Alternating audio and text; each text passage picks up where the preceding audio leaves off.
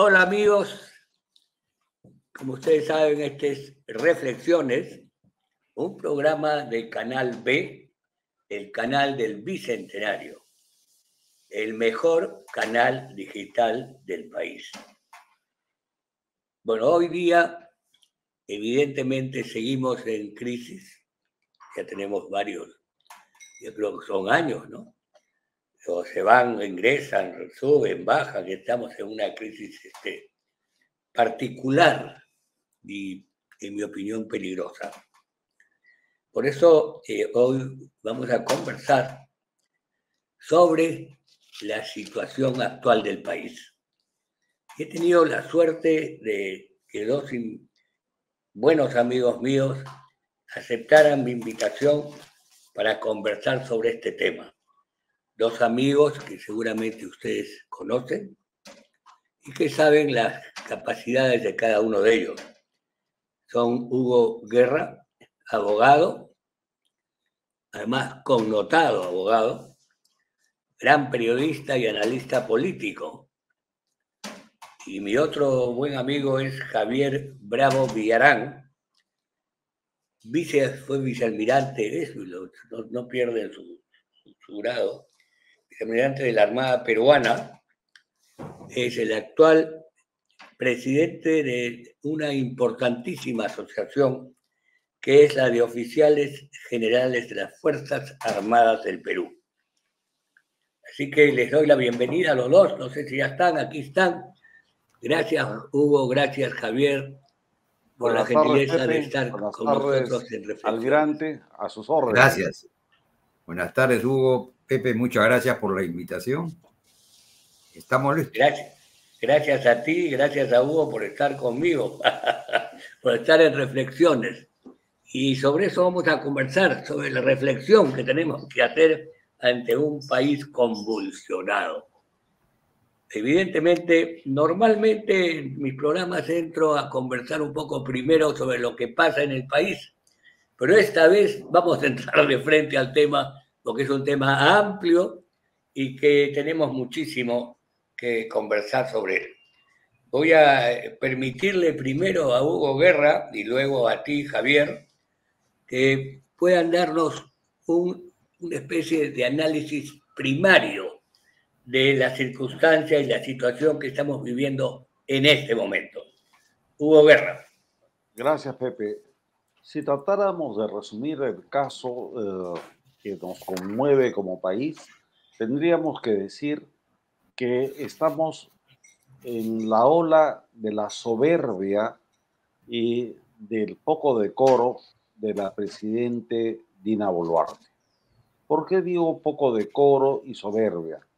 No es posible que en un país donde tenemos 10 millones de personas que están en la línea de pobreza extrema, la jefe del Estado luzca joyas por varios miles de dólares en un alarde de grandeza eh, bastante llamativo. Y lo peor, que esas joyas no tengan un origen claro, preciso, de dónde provienen. Eh, la Presidente ha cometido el error, primero jurídico, de no ser bien aconsejada inicialmente pidió dos semanas para rendir su manifestación fiscal. Después fue allanada malamente con abuso en su residencia particular y en Palacio de Gobierno. E inmediatamente después, la propia Presidente, en un acto desesperado, pide el interrogatorio fiscal de inmediato, lo cual parece de principiantes, descoordinado o eventualmente de que se estaba ganando tiempo para buscar las pruebas. En paralelo, se toman decisiones que son trascendentales, pero que llaman la atención por su eh, oportunidad y su vastedad en los cambios en el gabinete ministerial. Han salido nada menos que seis ministros de Estado, algunos que eran reclamados y exigidos, como el caso del ministro del Interior, y otros que podían ser o no eh, urgentes, pero que se presentan nada menos que en vísperas del de, el voto parlamentario de aprobación del gabinete del señor Gustavo Adriansen. Y todo esto, además, en medio de una solicitud de los extremistas de izquierda y de los caviares para vacar la presidente y generar elecciones adelantadas que francamente serían caóticas eh, en el momento en que no se han terminado las reformas constitucionales, las reformas políticas y cuando se mantienen en el cargo personajes que están severamente cuestionados el Jurado Nacional de Elecciones y en la OMP. Por lo demás, la imagen del país está sufriendo gravemente en vísperas de la cita cumbre de APEC que tendrá lugar en noviembre de este año. Muy bien. Muy bien, muy claro, muy directo, concurro con todo lo que has dicho. Este, algo, algo más que agregar, pero le paso el, el derecho a la palabra a mi amigo Javier Bravo. Javier, ¿qué tienes que decir sobre lo que acaba de, mencionar nuestro amigo Hugo. Nuestro querido amigo Hugo ha hecho un resumen bastante completo con el cual seguramente la mayor parte de quienes están viendo este programa van a, vamos a coincidir, incluido quien habla, por supuesto. Pero esta es una secuela que ya viene desde tiempo atrás. Esto es un efecto de que hay una incapacidad en el manejo de la cosa pública que trae como resultado este tipo de hechos que no hacen más que agudizar este vacío de poder, como he dicho. Es necesario e imprescindible que se afronte con claridad, sin tapujos. Todo está en la opinión pública, ya hay una, hay una opinión formada, pero se requiere naturalmente un gesto de la autoridad para que demuestre consistencia, para que demuestre transparencia que es lo que mínimo que podemos exigir de nuestras autoridades. Ojalá que haya esa actitud por parte de la persona que está comprometida, que desgraciadamente es la primera autoridad del país. Esto es una exigencia que tiene la sociedad sobre sus autoridades y en este caso sobre la primera autoridad de la nación. Muy bien. Yo creo que muy importante lo que ambos han mencionado. Perdón. Dentro de esta circunstancia de crisis que vivimos, permanentemente tenemos estos altos y bajos y esta falta de gobernabilidad, no solamente por parte del gobierno, sino esto incluye también a la acción judicial, al Ministerio Público, al Congreso, etc.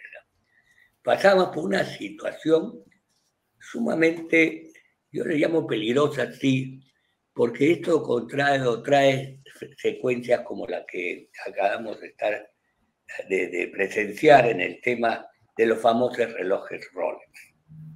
Pero aquí existe paralelamente, en mi opinión, una actitud, una acción o una este, definitiva posición de descentralizar el gobierno y crear en una situación como esta, evidentemente, una circunstancia que sea favorable a los intereses de esas personas o de esas gentes o de esos grupos que quieren hacerlo. ¿Tú crees, este, Hugo, que ese grupo este, que evidentemente se mencionan y se dice y se señalan, y que lamentablemente la prensa no es contundente, este, es así como menciono yo de que existe eso y eso es lo que está generando una circunstancia como esta. yo creo que la respuesta es indudablemente que existen vacadores radicales o quienes intentan ese tipo de maniobras. Y los intentan desconociendo algo que es fundamental. Una cosa es la presidente como persona que está llamada indudablemente a hacer lo que ha dicho el almirante Bravo en el sentido de transparentar sus actos y levantar todos los cargos que se hayan presentado. Eso es una exigencia. Pero una cosa muy diferente es la institución presidencial. Separemos claramente eso. Y entonces vamos a ver, advertir que en los múltiples pronunciamientos que se han producido en las últimas horas, no se ataca esencialmente a Dina Boluarte como persona, que eso todavía tendría una lógica política inmediata, sino que se ataca a la institución presidencial, se ataca a la estabilidad del gobierno. ¿Y, y para qué? Para pedir elecciones anticipadas. ¿Quiénes son los autores de esto? La mafia, caviar, que claramente ha tramado todo el escándalo con ayuda probablemente de algunos elementos policiales que participaron en el allanamiento y que filtraron una vez más los documentos a cierta prensa. Y además los grupos como lo que queda de Perú Libre, partido de origen, y nunca olvidemos que Dina Boluarte es una mujer de izquierda que sucede a Castillo eh, constitucionalmente, pero que sigue siendo radical. Eh, otro grupo, el Partido Morado, y el otro grupo de, me parece que se llama Juntos, los amarillos, los que actualmente le decimos los patitos.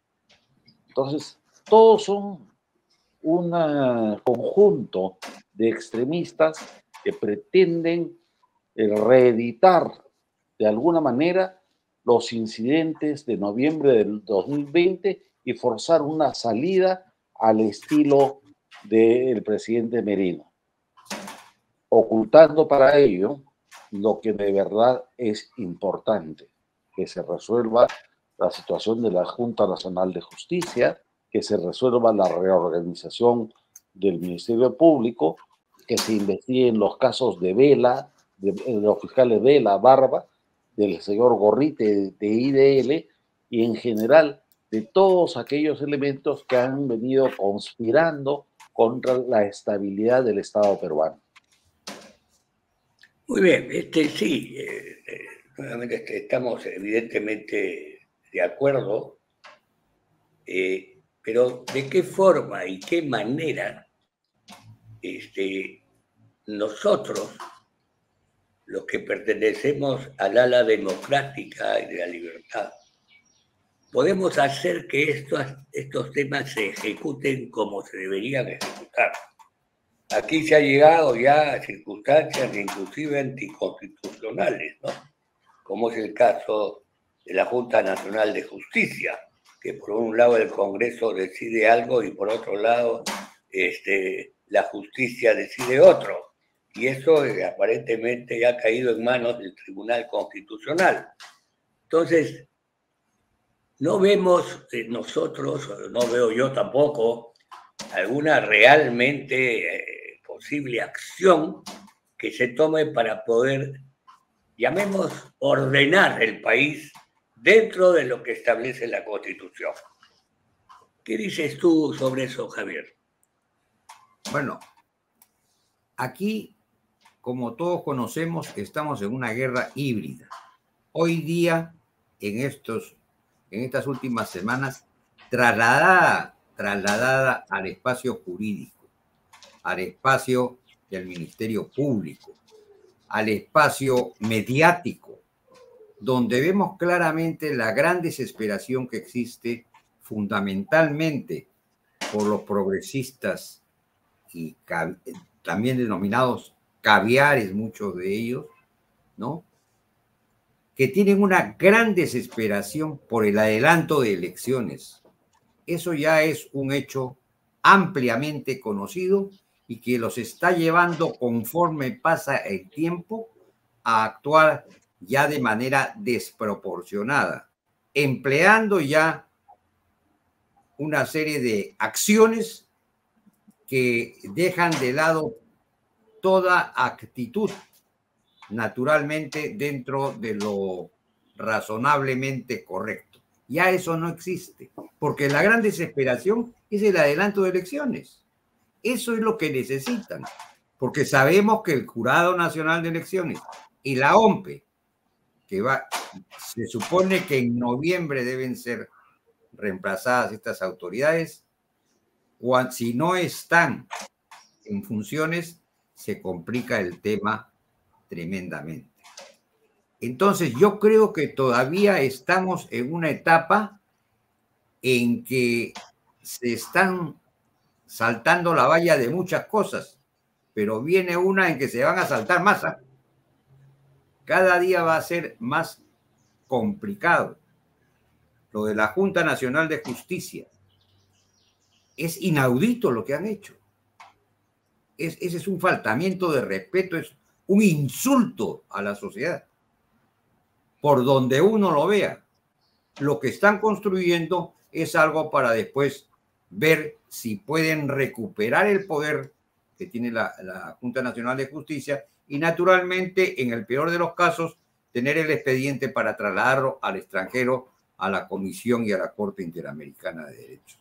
Entonces, esto es muy claro. Los demócratas tenemos, tenemos pues que, que sentarnos seriamente, dejar la mezquindad y los egoísmos de lado y ponernos a hacer las cosas juntos, respetándonos mutuamente. Hablamos de respeto, hablamos de unión, pero creo que en la práctica no estamos muy cerca de ello.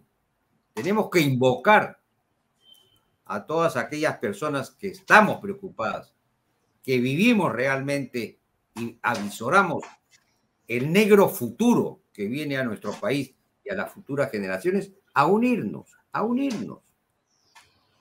Y ver cómo de esos 20, hasta ayer 26 partidos inscritos, y dentro de una semana serán 30 o, o algo más, los que tengan esa visión de la esa, esa, esa esencia de la democracia, nos se sienten en la mesa, conversemos, dialoguemos y lleguemos a actuar juntos.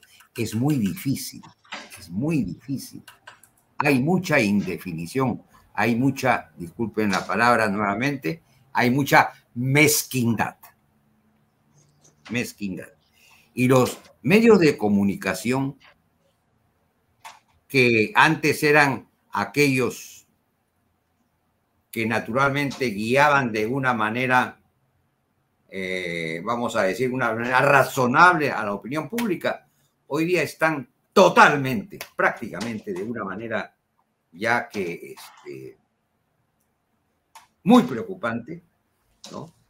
En una tendencia propia de sus intereses empresariales o intereses de protección a las personalidades o a las personas que han integrado sus organizaciones que están en problemas relacionados con la corrupción. Tema naturalmente que es transversal y es endémico en nuestra sociedad. Entonces, ¿hasta cuándo vamos a seguir diciendo hay que unirnos, hay que unirnos? Pero siempre y cuando el candidato sea yo, ¿ah? Sea yo. No, pues así no es, así no es. Y me voy a permitir una, una, un ejemplo. Como marino, todos los marinos somos formados en una unidad que se llama buque. En el buque es un conjunto de personas, hombres y hoy día mujeres, que trabajamos en equipo. El comandante es el que dirige, el que conduce, el que lidera, el que comanda.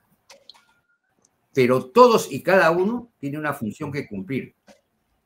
Y todos tienen una importancia y, tienen una, y tenemos una cultura de trabajar en equipo. Eso es bien difícil en los partidos políticos. ¿ah? Es lo que se ve, se palpa y nos está sucediendo. Pero hay un elemento que debemos de tener muy presente, que se llama, y está de moda, el reloj, pues. El tic-tac no para, no para. Ya mañana es otro día y dentro, dentro de un segundo otro momento. Entonces, ¿hasta cuándo la gente es demócrata? Va a tener la, la, la, ¿cómo se llama? La capacidad, va a tener la voluntad, va a tener la generosidad de trabajar en equipo y trabajemos por, por aquellas personas que, que consideremos son los que deben conducir no solamente en el Ejecutivo, en el Legislativo y también en el tema que tenemos fundamentalmente de corregir lo, ese, ese Poder Judicial, ese Ministerio Público, esa Junta Nacional de Justicia, que realmente, con las excepciones del caso, dan vergüenza. Por ahí, hasta ahí mi comentario. Muy bien, muy interesante, Javier, te agradezco. Este, vamos a entrar al mismo, al mismo, el mismo camino, ¿no? Y con todo lo que tú has dicho tiene mucho sentido y es lo que está sucediendo.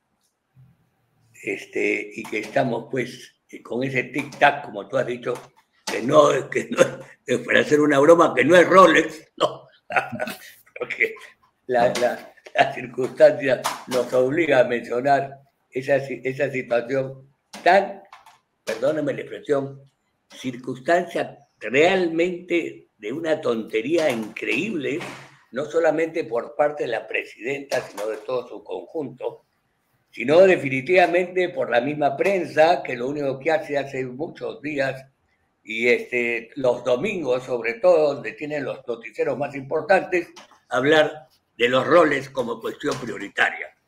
Tuve la oportunidad de, y todo lo digo abiertamente, de ver este Latina y ver a mi amiga Mónica Delta, no escuchar lo que el mismo presidente del el presidente, el, el, señor, este, ¿cómo se llama? Biancén, ¿no?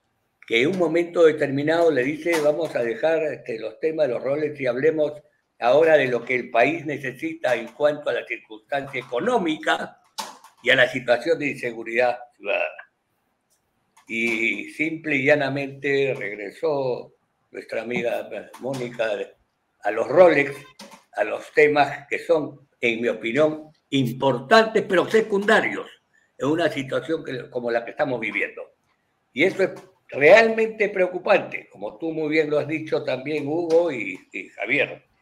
Eh, en cuanto al, al tema, este, antes de entrar a ese tema, quiero pasar a, Hugo para después, luego tratar el tema de la unión que has tocado, que es la unión del buque que has tocado, que, es tan importante y, que hemos venido también trabajando por mucho tiempo nosotros. Hugo Guerra, en cuanto a lo primero, ¿qué tienes que agregar?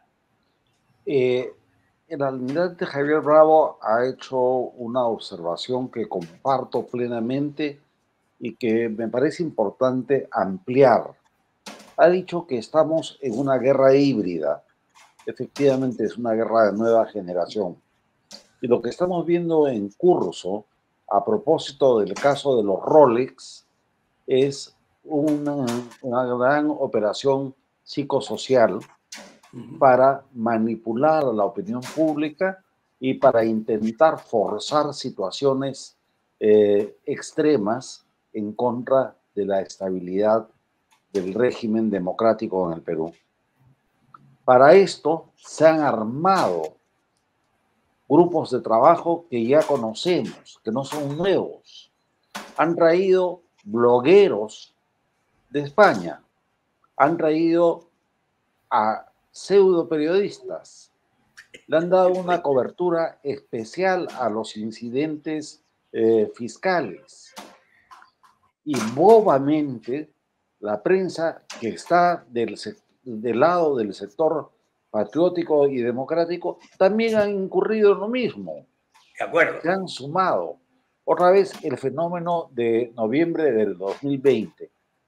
Pero esto no es casual, pues. Hay que ver quiénes están detrás, porque en paralelo a esa manipulación de las masas, francamente al estilo de Goebbels y de las redes sociales, lo que eh, se está haciendo es, por ejemplo, proponer desde el Jurado Nacional de Elecciones una flexibilidad para que los partidos políticos eh, que no logran eh, inscribirse porque no reúnen todos los requisitos puedan participar en los comicios. A este paso, ¿qué, pretenden? Que tengamos 50 organizaciones electorales para los comicios del 2026. En realidad nos están llevando a eso. ¿Qué más pretenden? que perdamos de vista la actividad subversiva de un sujeto al que yo me he permitido calificar públicamente como el mono con metralleta, que es Antauro Humala, que está avanzando en su campaña en el interior del país entre los más eh, desposeídos, los que más urgencias tienen, a partir de una posición fascista y eh, subversiva. En realidad, podemos ser tan ingenuos de creer que todo esto es una suma de coincidencias o de casualidades. Aquí hay una mano ajena, más aún cuando uno de los mismos miembros del, gobierno de Castillo, vinculado al sector inteligencia, el señor Henry Chimabukuro, acaba de afirmar públicamente que, por ejemplo, el prófugo de la justicia, Vladimir Cerrón, cabecilla de Perú Libre, está siendo protegido por los cubanos. y que probablemente incluso y esté allá, en Cuba. Entonces, no podemos caer pues, en ingenuidades. Yo eh, vengo sosteniendo que el problema en el Perú no es estrictamente político, es un problema de seguridad interna y de defensa nacional.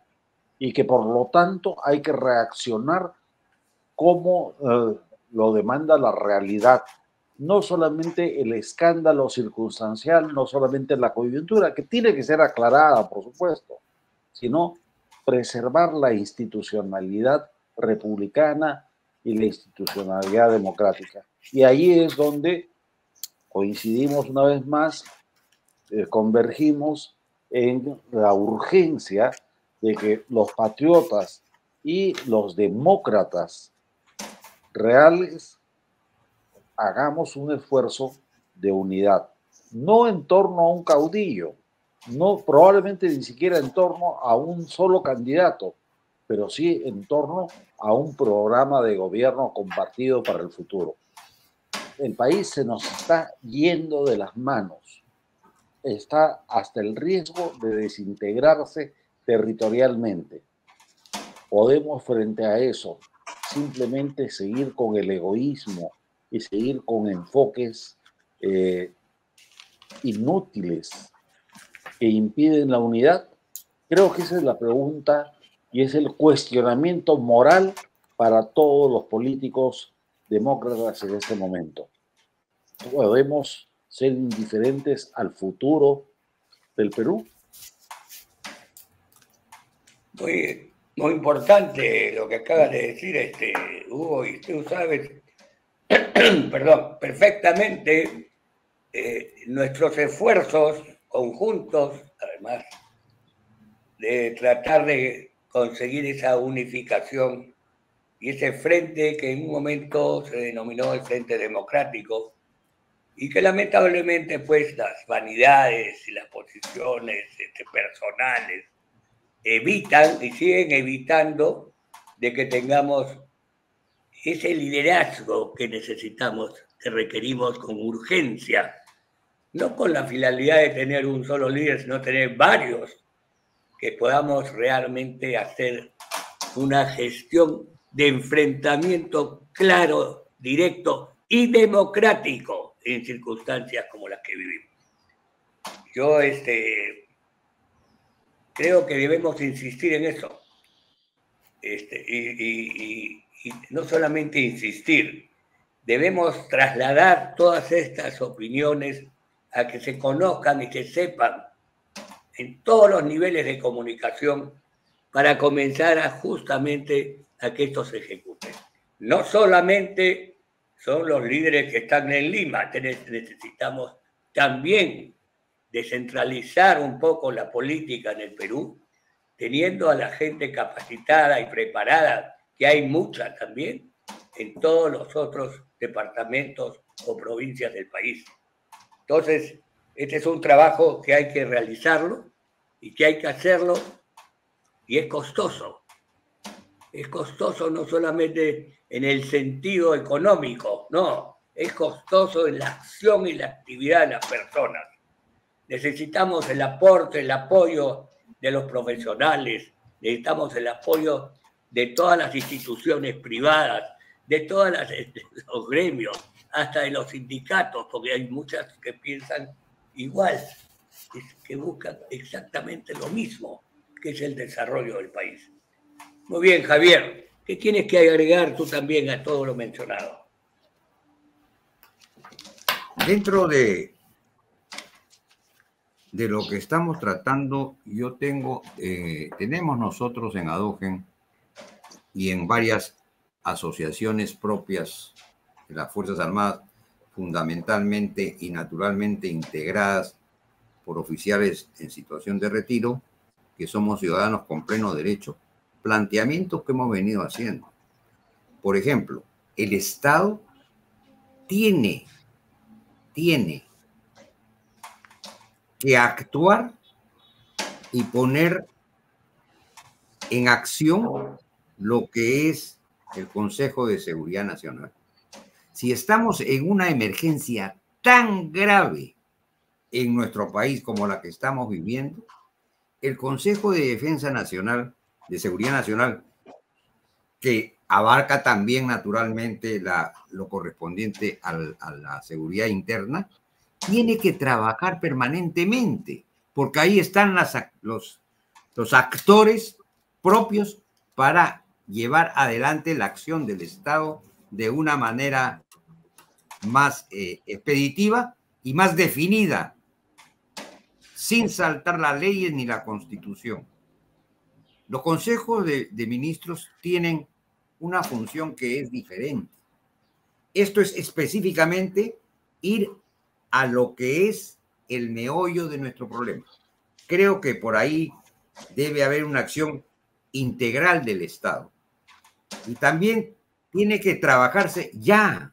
Esto no es para el 26 ni para el 25, es ya en definir en el, en el, en el ámbito internacional nuestras relaciones, pues, con aquellos que los caviares y los progresistas y los totalitarios están defendiendo desde hace mucho tiempo, que es nuestra relación con Cuba y con Venezuela, por ir a dos, a dos espacios y no seguir con los demás que ya todos sabemos. Entonces, debemos definir, si sabemos que Cuba está ha infiltrado acá gente, eso lo sabemos todos. Y sabemos lo de Venezuela ya, pues. Ese es una cosa ya de otra naturaleza, ¿no?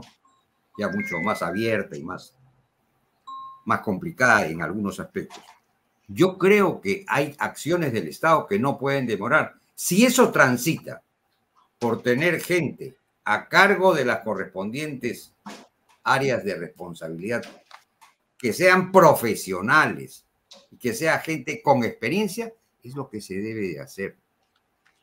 Es lo que se debe hacer en, este, en nuestro país. La presidente es una persona cuya jerarquía hay que respetarla, pero a nombre de respetarla, ¿no es cierto? No puede ser que el edificio se caiga, ¿no?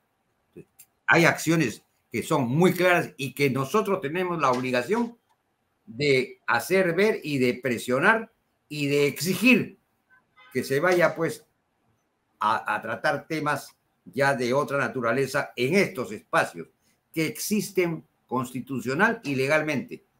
Podrás decir de que esto es utópico y que no va a suceder porque no quieren los caviares. ¿Quién no quiere? ¿Ah? los que, los que están con Soros, los que reciben el dinero de Soros, del nuevo orden mundial, los que reciben el apoyo de otros, otras fuentes ya no tan santas, o menos santas, mejor dicho, o menos santas. Entonces, vamos pues nosotros a defendernos con la constitución, con la ley y con la identidad que debemos tener como peruanos. Yo creo que eso es muy importante.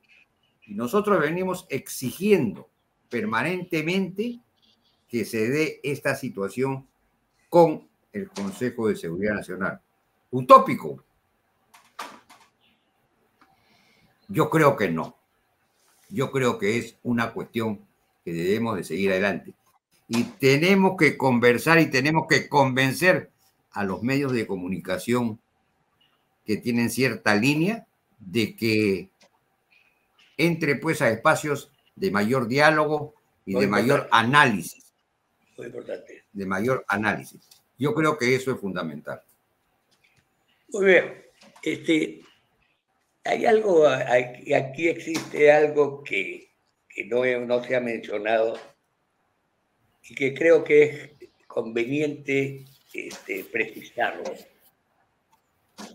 Dina Boluarte, dentro de su ingenuidad, su incapacidad, de su este, amor a la joya, todas las tonterías que realmente ha hecho durante su gobierno, me ha dado la impresión de, un, de una búsqueda para poder sostenerse hasta el 2026. Esa búsqueda no solamente proviene desde el cambio ministerial ahora, que eso entiendo que va por otras razones, pero hubo ese cambio ministerial hace poco tiempo también. Y sé que ella ha tenido, pues, eh, ha buscado la asesoría de determinadas personas importantes. Importantes, quiero decir, capaces. Y que dentro de eso vino ese cambio ministerial en el cual tuvimos un nuevo ministro. Empezó realmente con el cambio de, en relaciones exteriores. Es un cambio que sí merece mencionarse, porque Javier González Olachea, al margen de que es mi amigo, ha hecho realmente, ha tomado acciones importantes durante su gestión, su corta gestión. Entre ellas el haber emitido un comunicado en contra de Maduro por el hecho de las elecciones en Venezuela, de lo que, de lo que hizo Maduro con la señora Machado, y de los cambios también que ha realizado a nivel internacional. El último de ellos es el de José Luis Sardón, que es un ex miembro del Tribunal Constitucional y que está, si no me equivoco, en la OEA ahora, representa la OEA. Y además, el cambio también, el cambio de embajadores en Estados Unidos, en Costa Rica, que es el sitio donde está la Comisión Interamericana de Derechos Humanos, que ha puesto un constitucionalista bien firme, y otras cosas adicionales que ha hecho en el camino. A través de ese cambio, pues vinieron estos cuatro cambios adicionales que el ministro, se nombró ministro de Energía y Minas a Rómulo Mucho, que es un hombre especializado, capacitado técnicamente, a pesar de lo que le han sacado en el camino con, con su amor personal, entre comillas, pero es un hombre preparado para manejar el Ministerio de Energía y Minas y lo dijo con mucha claridad en dos programas que escuché. No sé si eso después ha variado su, la, propuesta que hizo de destrabar ciertos, ciertos temas mineros muy importantes, como el de Tía María, el de y el eso, adicionalmente a eso, tiene también el cambio que hizo en el Ministerio de Economía. En el Ministerio de Economía ha puesto a una persona mucho más capacitada que la anterior y además bien preparada por expertos en esa materia, reconocido que lamentablemente inició su labor dándole facilidades a Petroperú. Pero en fin, son cuestiones importantes, pero que hay que decir de que ese, ese camino ha comenzado a allanarse. Nombró en el Ministerio del Ambiente a señor Castro, si no me equivoco, que es un especialista del agua. Y finalmente nombró al nuevo ministro de Defensa, que conocemos y sabemos quién es todos. Adicionalmente a eso, ese aparente cambio ministerial importante, han venido los cambios finales ahora, eh, cuatro o cinco o seis ministros, que definitivamente estos cambios están más dirigidos a apoyar al nuevo este, primer ministro de en lo que es su presencia en el Congreso. ¿Por qué digo todo esto? Porque creo que Dina lo que necesita y requiere es de gente preparada y capacitada para que le brinde la asesoría necesaria y podemos llegar al 2026, por lo menos con la tranquilidad de que no vamos a tener una Jurado Nacional de Elecciones, una OMPE, una RENIE que nos obstaculice las elecciones. Y que permita que el Perú se siga desarrollando, porque el Perú tiene capacidad para seguir desarrollándose. Entonces, este, creo que debemos hacer más la cosa bajo el aspecto positivo, no tan negativo, y tratar de colaborar y ayudarla a que ella pueda cumplir con su mandato y que ella pueda tener gente capacitada dentro de su gabinete. ¿Qué piensas tú de todo esto, Hugo? Gracias, Pepe. Eh, efectivamente, yo creo que no podemos estar permanentemente eh, como el buey lamiéndonos las heridas. Tenemos que ser más proactivos y más positivos, pero sin por ello perder el realismo. Yo soy escéptico. La señora Dina Boluarte, con el mayor respeto por la dama, tenemos que recordar que viene primero de una situación socioeconómica y profesional de cuarto o quinto nivel en el escalafón del Estado. No es propiamente una estadista. Segundo, postuló por un partido radical, maoísta, y ella fue defensora y aliada del golpista Pedro Castillo.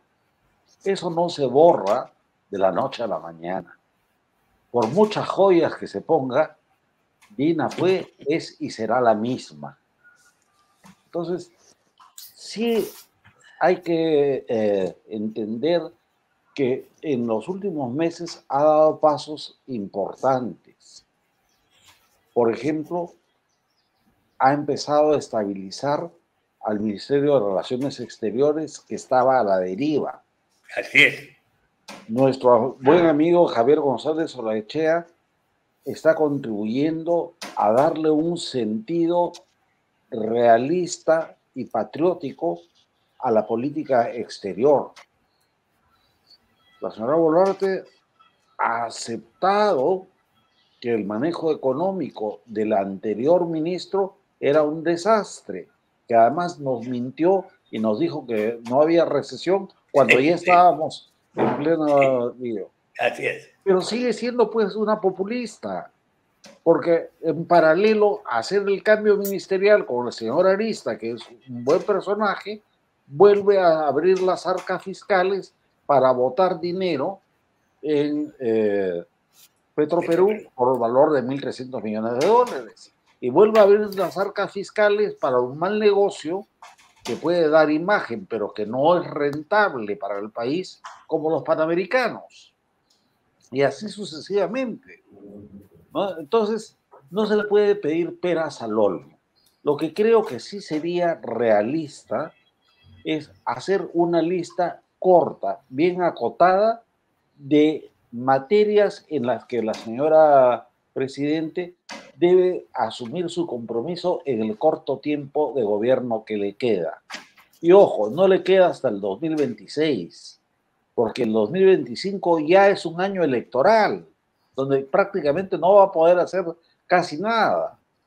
Entonces, lo primero, impedir que retrocedamos fiscalmente y que nos vayamos a una situación hiperinflacionaria o un desequilibrio de las finanzas nacionales. Es decir, controlar la crisis económica. Segundo, devolverle una mínima estabilidad y paz social a la seguridad ciudadana. No podemos seguir como estamos. No puede ser posible que eh, se incurra en falsedades. Yo he demostrado con números públicamente. El narcotráfico le inyecta a la economía peruana 3.500 millones de dólares por año. ¿Cuál es el presupuesto total? Mal administrado y encima perforado políticamente, como le da la gana de la Policía Nacional, apenas 300 millones. Entonces, ¿qué quieren? ¿Que la policía resuelva algo o que solamente administre el caos? Ahí hay que exigirle. Hay que exigirle que no descuide la defensa nacional. Nuestras fronteras eh, son 7.000 kilómetros que no están debidamente atendidas no por falta de las Fuerzas Armadas, sino por la incapacidad política y la falta de decisión gubernamental. Y finalmente, creo que tenemos que ayudarla a todos a que algunas cosas fundamentales, inmediatas, funcionen. Uno, la cumbre de APEC, que es en noviembre. Dos, el megapuerto de Chancay, que ahorita, curiosamente, por una denuncia del Estado, está a punto de abortar. Así como eso, hagamos una lista corta de lo que es posible, de lo que es viable. Pedirle que deje de ser ella, pedirle que deje de ser una mujer izquierda, pedirle que cambie su estilo eh, frívolo de gobierno, probablemente sea mucho. Pero sí exijámosle cosas puntuales. Lo último, que por favor todos contribuyamos a que el proceso electoral eh, que se viene sea realmente serio, bien controlado y que no haya fraude. Muy bien. Muy interesante lo que ha dicho, pero yo quiero insistir en mi posición, en mi propuesta. Yo, creo que efectivamente Dina, como lo mencioné, este, tiene todos esos efectos. Es, este, es una izquierdista que en el fondo eh, no sabe ni siquiera qué significa el comunismo, estoy seguro. No conoce siquiera lo significado del socialismo tampoco. Pero en fin, menos mal. Pero sí creo yo que con una actitud de un grupo como, como el que he mencionado formado, de que podamos realmente apoyarla a que tome por lo menos esas pequeñas decisiones que mencionas tú y otras también que son importantes y que se requieren como el tema de la minería, que son fundamentales para el desarrollo económico del país y para comenzar a enfrentar la tremenda pobreza que tenemos. Si tenemos, si conseguimos eso, esa asesoría que a nosotros en el fondo dejemos de lado la, la ideología de querer gobernar sino tener por lo menos en los temas fundamentales y prioritarios de desarrollo de este país, es a través de una asesoría adecuada que mismo ha mencionado Hugo, que no tiene asesoría esta señora, pero ya la tuvo en el, tema de relaciones exteriores y creo que podría estar dispuesta a lo otro también con los nombramientos, algunos de los nombramientos que ha hecho, no todos, pero en fin. Creo que ese es un camino que deberíamos también trazarlo ¿no? Y debemos trazar ese camino no solamente para beneficio de lo que queremos tener el 2026 o el 2025, como quieras, es para que el Perú se pueda seguir desarrollando. Perú tiene condiciones para el desarrollo extraordinario. Eso podemos trabajarlo. Hay que, hay que comenzar a dejar de lado muchas cosas este, buscando un objetivo que realmente sea lo que el Perú necesita. Javier, te toca a ti. Sí, muchas gracias. Eh, yo creo que en el caso de la presidente, ella tiene compromisos personales ineludibles que provienen de su raíz y que anda eh, en un accionar de proteger para que no sean evidenciados o no sean llevados al escenario nacional. Y de ahí viene toda una secuela de asuntos como son principalmente en lo que es la seguridad ciudadana y lo relacionado al frente interno, de que tenemos muchos problemas con nuestra Policía Nacional en cuanto a su conducción política, fundamentalmente. Entonces, ese es un tema que, como bien han, ha manifestado Hugo, hay cosas que no van a cambiar con, con esta presidente porque tiene determinados compromisos. Nuestras Fuerzas Armadas y Policía Nacional,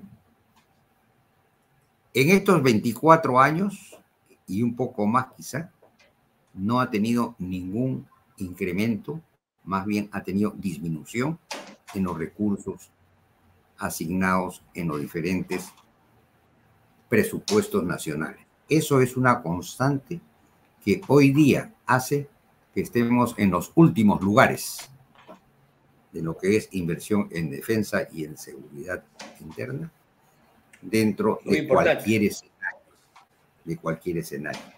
Realmente eso es un camino sutil, no sutil, sino un camino perverso, emprendido por la progresía a través del poder que tiene en el manejo nacional desde el 22 de noviembre del 2000 en, el trayecto por debilitar a las Fuerzas Armadas. Lo han conseguido en el campo de los medios, pero no en el campo de la mente y de la mística del personal de nuestras Fuerzas Armadas. Entonces, creo yo de que sí, sí, tenemos que tener una claridad de una plataforma mínima que debemos trabajar. En el caso de Adogen ya lo estamos haciendo. Ya lo estamos haciendo para tener nosotros una plataforma sobre la cual todos los que estamos asociados a Adogen en situación militar de retiro podamos actuar en los diferentes espacios en que estamos eh, viviendo. No solamente en el espacio político, en el espacio empresarial, en el espacio. Hay gente que es de la, de la, del derecho, que está en espacios de la judicatura, en, en una serie de aspectos, para tener cosas claras y poder tener una cierta homogeneidad en determinados puntos. Naturalmente, cada ser humano tenemos nuestros propios puntos de vista, pero hay cosas en que sí tenemos que ser muy firmes. Y ese trabajo ya lo estamos haciendo.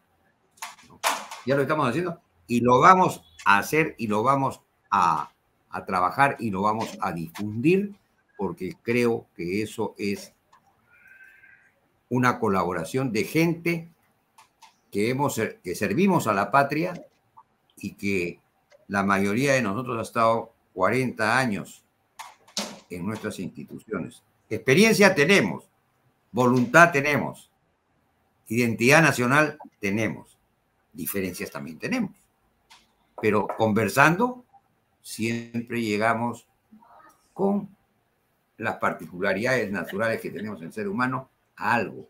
Eso es lo que tenemos que hacer, por favor.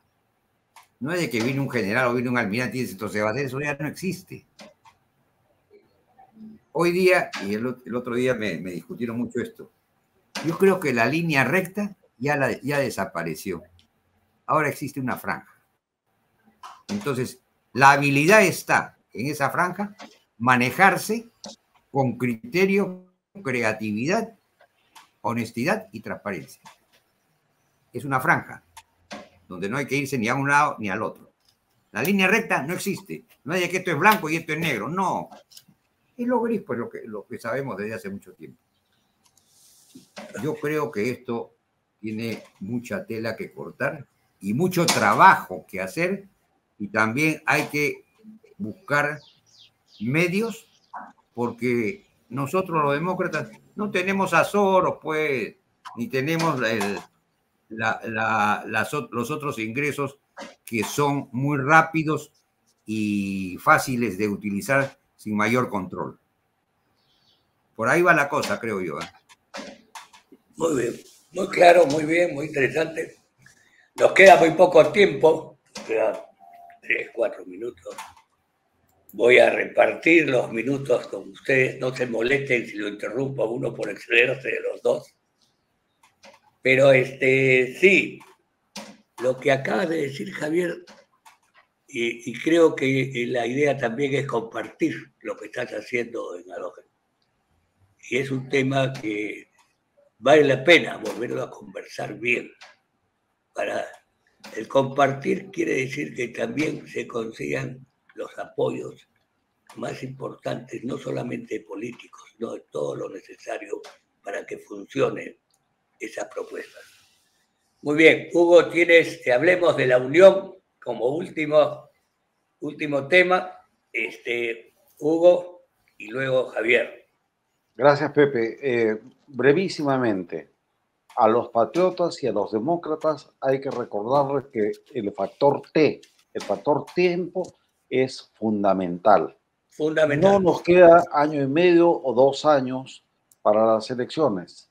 En tres meses ya tenemos que tener listas de eh, miembros de partidos que estén en aptitud de postular a los diferentes cargos en el Congreso y en el gobierno. Por lo tanto, el trabajo de la unidad tiene que darse. Y creo que nuestro horizonte debe estar marcado no solamente por la unidad así a secas, en vacío, sino por los conceptos sagrados del lema que dice Dios, patria, familia y propiedad. Si no alentamos esos principios fundamentales, creo que no vamos a poder unirnos. Muy bien, muy bien. Este, Javier. Sí. Bueno, la invocación a la unidad es fundamental. La invocación a la generosidad de compartir y de colaborar y de trabajar y de apoyar económicamente dentro de nuestras capacidades el emprendimiento que se haga en el escenario demócrata es fundamental. Yo creo que es la única forma y la siguiente, que esto se va a concretar cuando en abril del 26 estemos en Lima Metropolitana fundamentalmente, todos presentes para votar. Todos presentes. La última experiencia de la votación en el 21 la estamos sufriendo, no es viviendo. Estamos sufriendo el drama. ¿Quiénes? Nosotros, nuestros seres queridos, nuestros hijos, nuestros nietos, y lo que es peor, se está dando un escenario perverso de futuro. Tenemos que neutralizar eso, sin ninguna duda. Cualquier esfuerzo y cualquier, cualquier eh, acción que hagamos en ese sentido y la compresión hacia nuestros semejantes será fundamental. Yo creo que el Perú, como siempre se ha dicho, es más grande que sus propios problemas. Y nosotros seguimos la ruta de Grau en la Marina siempre y en las Fuerzas Armadas de nuestros héroes, Bolognesi, Quiñones y Grau. Ya nos cortaron, creo. Este, para terminar, eh, para terminar solamente usar lo que Hugo y Javier han dicho, el factor T el factor tic-tac, el factor tiempo. Tiempo a dedicar al país. Muchas gracias, Hugo, Javier. Excelente.